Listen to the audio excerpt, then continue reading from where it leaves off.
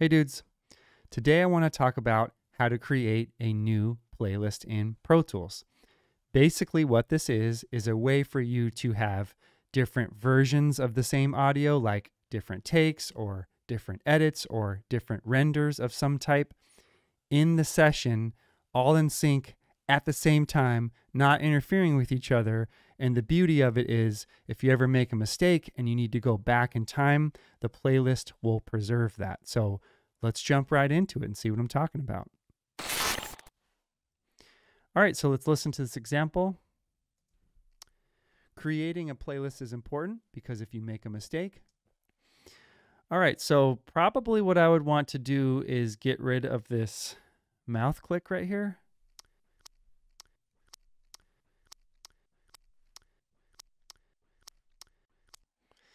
Yeah, that's gross. So what I would do is probably, you know, click on this and go to Audio Suite and then do a, a mouth declick through iZotope or something along those lines. Uh, the problem if you keep rendering and rendering and rendering is that you might render too hard or make a mistake or do something that you're not actually trying to do and then it's hard to go back in time if you like didn't realize you made that mistake or whatever right um, you could have different takes of different ADR or different vocal performances or you know different styles of denoise or whatever it is. So let's jump into this playlist technique to help save you to make sure that you don't make that mistake. So next to the name of any track, there is this little arrow that's pointing down that's called playlist selector. And if you click on that, you can either create a new playlist or you can duplicate the existing playlist that you have. So let's do a duplicate.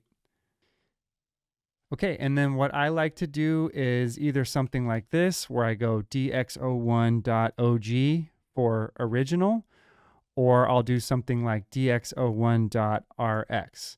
RX is the name of the iZotope suite that has denoising in it. So if I see a track that has RX in the title of it, it'll let me know that it's either ready for me to denoise or I have done some denoising. So let's leave it at that and hit OK. And then let me just show you what a playlist can do. So I'm going to do something dramatic by just deleting all of that. So we wouldn't want that. Playlist is important. But here's why the playlist is important is because I can then click back where our playlist selector was and go back to my original playlist. Playlist is important because if you make a mistake, if I make a mistake like I did, I can always go back in time and go back to this old playlist. I could then like copy and then paste right in the spot. Or I could, you know, drag it out into another track. And then drag it back into place of the mistake I made or some version of that. But you can see this is handy because you could just be tootling along in your Pro Tools session thinking you're just doing this awesome job. And then you realize later, uh oh, oh no, I've made a mistake. I need to go back in time. No problem. I can do that with a playlist.